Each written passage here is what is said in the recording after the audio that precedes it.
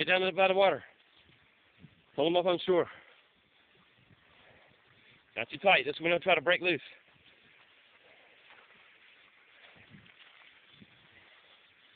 Pull him in, boy. No, River, get away.